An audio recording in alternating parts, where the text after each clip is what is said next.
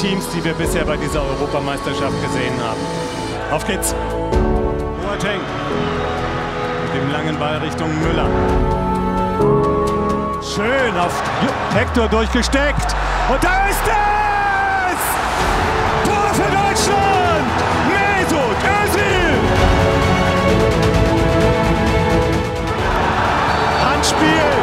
Elfmeter für Italien. Bonucci gegen Neuer. Unhaltbar. Nichts zu machen. Die Spannung ist brutal. So, die letzten Minuten. 1 zu 1 zwischen Deutschland und Italien.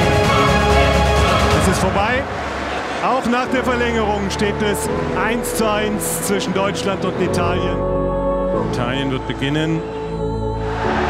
Starke Chancen 1 zu Italien. Ja! 1-1. Sasa gegen Neuer.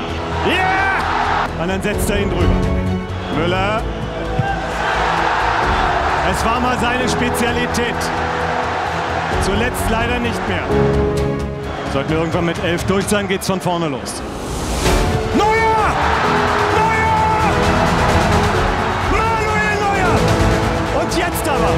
Er hat die Tür aufgemacht. Er hat die Tür aufgemacht für Jonas Hector. Wenn er trifft, dann ist Deutschland im Halbfinale. Jonas Hector. Yeah!